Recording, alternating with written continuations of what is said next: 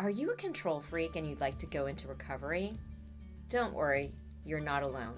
As a former control freak myself, I can honestly say when I made the decision to let go of control, except for how I can control myself, my reactions, and how I want to navigate and show up in the world, my life got so much more joyful and more into ease and flow. So, the first step is acknowledging you have a problem. What is your control freak tendencies costing you? So, it might cost you your well being because the truth is we can't control anyone except for ourselves. So, you might be set up for always being frustrated by other people because they don't act the way you would because they're them and you're you.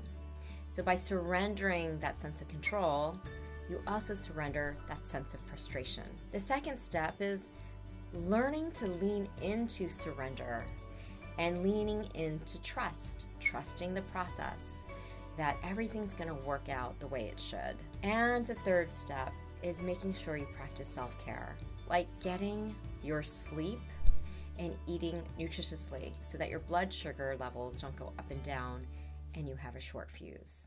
You got this.